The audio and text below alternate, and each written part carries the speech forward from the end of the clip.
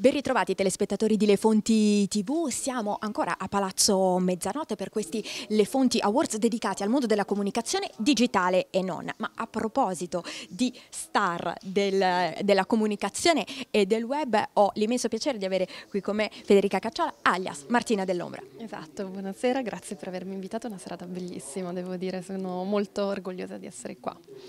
Bene, noi lo siamo altrettanto. Questa è una serata eh, dedicata alla comunicazione. Stiamo chiedendo un po' ai nostri ospiti quelli che secondo loro possono essere i tre consigli eh, o, o, tre segreti, magari anche nel, nel tuo caso, eh, per, essere, eh, per fare una comunicazione convincente attraverso il web.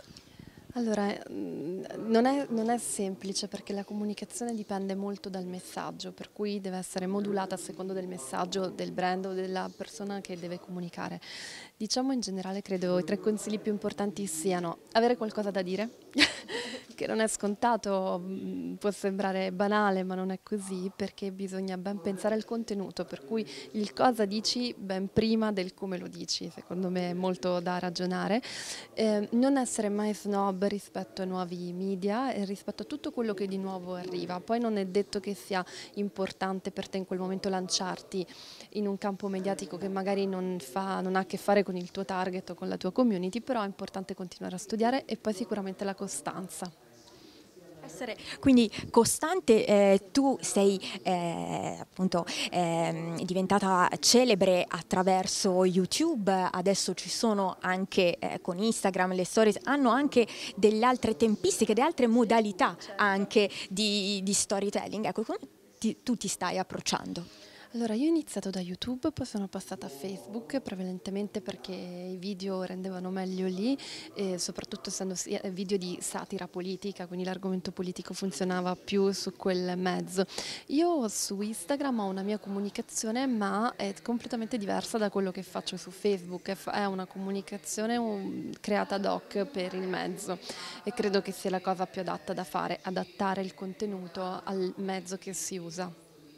E riguardo all'essere più o meno politicamente corretti o scorretti, tu hai, hai fatto giustamente anche dell'essere un po' eh, politicamente scorretta eh, un marchio di fabbrica, ma oggi che eh, impazza eh, soprattutto sui social anche eh, con un po' di aggressività.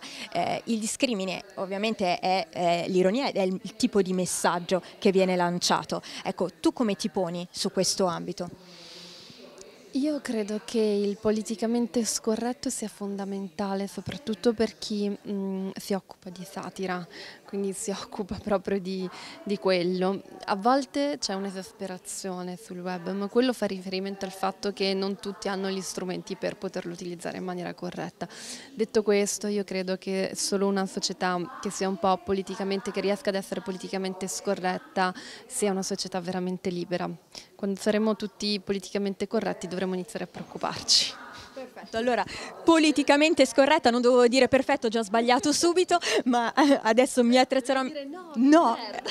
ecco, giusta, infatti, devo prendere assolutamente delle lezioni da Federica Martina. Grazie, grazie per essere stata qui con noi, speriamo di averti magari anche in studio per insomma, qualche Molto tua volentieri. analisi anche sull'economia, anche su questo ti vogliamo. Molto volentieri, l'economia è la mia prossima frontiera, proprio perché non ne capisco nulla.